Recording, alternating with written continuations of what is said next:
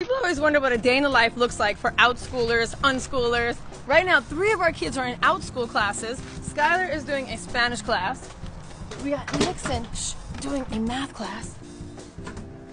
And Ryder is doing a coding class with Minecraft. All right. I say hi. Hi. This is how we do it.